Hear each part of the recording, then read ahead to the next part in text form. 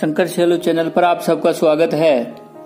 आज ये मैं जो कविता आपके सामने प्रस्तुत कर रहा हूँ, इस कोरोना के चक्कर में कई व्यक्ति अपने माँ बाप से दूर है।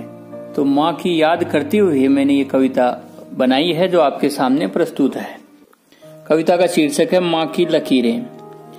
माँ, तेरी आँखों की उदासी देखकर लगता है कि जीवन सफ़र के न जाने कितने अनुभवों को समेटकर चुपचाप सहने की आदत को आँखों में बसाए रखना सीख लिया है तूने माँ।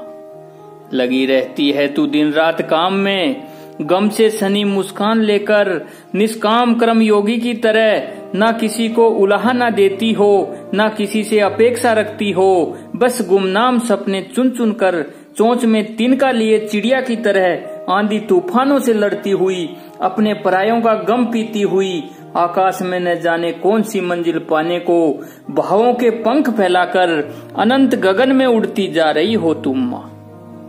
माँ, तूने न जाने कितनों को सहारा दिया, तूने तपती दोपहरी में आंचल की छाव दी, खुद के गमों को छिपाकर, औरों को मुस्कुराहट दी।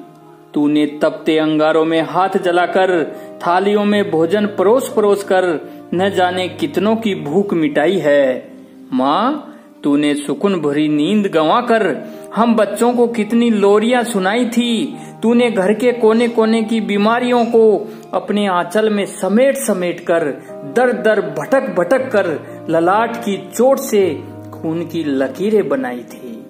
माँ तूने औरों के तन पर नए कपड़े सजाने के लिए, खुद के तन को चिठड़ों में लपेट कर, न जाने कितनी ठिठुरती रातें बिताई थी। जब परिवार में आंसुओं का दौर चला था, तब आंसुओं के सैलाब को पी पी कर, खुद की आँखों के सूनेपन को छिपा कर, तूने सबको मुस्कुराहट दी थी, माँ।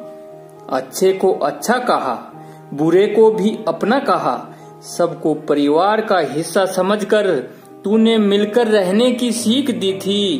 बड़े होकर सब निकल पड़े। अपनी अपनी मंजिल पाने को, और तू आज भी उसी आँगन में।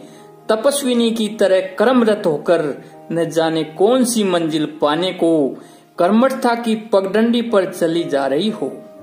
ये वक्त की कैसी मार है कि जिस माँ ने सबका पेट भर भर कर सबको खुद के पैरों पर खड़ा किया उसी माँ को अपने पैरों से चलने के लिए, अपना पेट भरने के लिए, सुबह से शाम तक अनजान राहों में तिनका तिनका समेटने के लिए भटकना पड़ता है।